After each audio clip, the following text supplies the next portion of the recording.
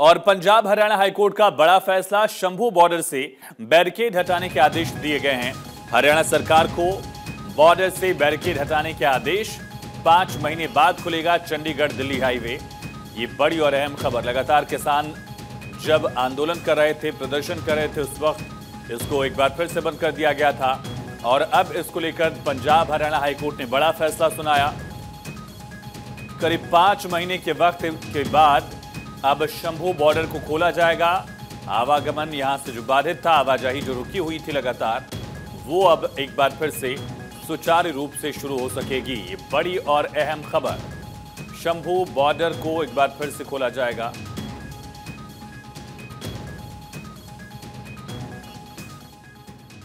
Haryana Punjab high court ने आज Shambhu border को खोलने के आदेश दे दिए हैं। कोर्ट ने अपने आदेश में साफ़ शब्दों में हरियाणा सरकार को आदेश दिया है कि सात दिन के अंदर अंदर शंभू बॉर्डर खोल दिया जाए। हम इस समय शंभू बॉर्डर पर पंजाब की साइड से हम आपको दिखाना चाहेंगे कि ये सामने शंभू बॉर्डर है, जिस पर की सेवन लेयर सुरक्षा लगाई गई है ताकि किसान आगे मूव ना कर सके। आप देखते हैं कि पहली लेयर के अंदर कांटे वाली तार लगी हुई है, दूसरी लेयर के अंदर एक लंबे लंबे कील वाली कोई ग्रिल रखी हुई है। उसके बाद कंक्रीट बिछाकर उसके ऊपर कीले लगाई गई है। उसके बाद बैरिगेट है, उसके बाद कंक्रीट की बड़ी दीवारें हैं, उसके बाद सेना के जवान तैनात किए गए हैं। ये सुरक्षा की गई है ताकि किसान दिल्ली की तरफ़ मूव ना कर सके। अब जो हरियाणा पंजाब हाई कोर्ट ने आदेश दिए हैं कि इस सारे के सारी जो कंक्रीट ये सेवन लेयर सुरक्षा लगाई गई इसको हटा दिया जाए और किसानों को दिल्ली मूव करने के लिए जाने दिया जाए। कोर्ट ने अपने आदेश में कहा है कि किसानों की मांग केंद्र सरकार से है, हरियाणा सरकार से नहीं है, इसलिए हरियाणा को उन्हें रोकना नहीं चाहिए। अब देखना ये, हरियाणा पंजाब हाईकोर्ट ने आज सात दिन के अंदर हरियाणा सरकार को शंभू बॉर्डर खोलने के आदेश दिए हमारे साथ बातचीत करने के लिए कुछ किसान नेता आइए उनसे बातचीत करते हैं। देखिए, जिस तरीके से हरियाणा पंजाब हाईकोर्ट ने आज शंभू बॉर्डर खोलने के आदेश दिए क्या कहना चाहेंगे आप इस बारे मेरा नाम पहले मंजीत सिंह गुमाना राष्ट्रीय अध्यक्ष भारतीय किसान मजदूर यूनियन।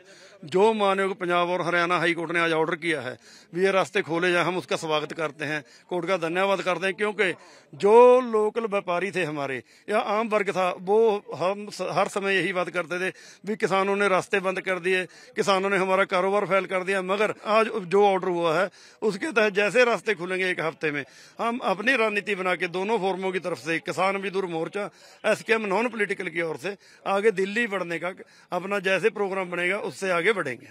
यदि हरियाणा सरकार इस ऑर्डर के खिलाफ सुप्रीम कोर्ट जाती है तो क्या आप लोग भी सुप्रीम कोर्ट पे कुछ अपील करेंगे? नहीं हम अपील क्यों करेंगे? वो तो सरकार की दिक्कत है हम अपील नहीं करेंगे। हम ना कोर्ट में विश्वास रखते हैं ना हमने पहले किया है क्योंकि जो है कोर्ट में आम जनता की थी जो परेशान है। मगर अगर हरियाणा सरकार ये करती है तो मैं पंजाब के माध्यम से पंजाब सरकार को बेनती करना चाहूँगा जो पंजाब का हज़ारों करोड़ रुपए का नुकसान हुआ है बिज़नेस का ला लो, अपना आम कारोबार, छोटे व्यापारी का, उसकी जुम्मेवार हरियाणा सरकार है, उससे वो अपना पेमेंट ली जाए, उनके ऊपर क्लेम पर डाला जाए, वो भी आपके तरह कहने से ये नुकसान हुआ है। क्योंकि जब हम वहाँ से यहाँ आकर रुक गए, यहाँ तक शांतमय तरीके से आए हैं, दिल्ली जाने में क्या दिक्कत है? जो हमारी मांगे हैं, वो दिल्ली के रिलेटेड मांगे हैं, ना कि हमारी पंजाब की कोई रिलेटेड मांग है। ये थे किसान नेता जिनका कहना है कि जैसे ही बॉर्डर खुलेगा तो हम जितनी भी किसान यूनियन है, आपस में बैठकर रणनीति बनाएँगे, उसके बाद दिल्ली की तरफ़ कूच करेंगे। इनका कहना है कि हमारी मांगे हरियाणा सरकार से नहीं है, हमारी मांगे केंद्र सरकार नहीं है केंद्र सरकार से मांग चाहते हैं, हम दिल्ली कूच करना चाहते हैं। लेकिन हरियाणा सरकार ने हमें गलत तरीके से रोका हुआ है। वीडियो जर्नलिस्ट दीपक कुमार के साथ डॉक्टर थानेश्वर शर्मा, चंडीगढ़।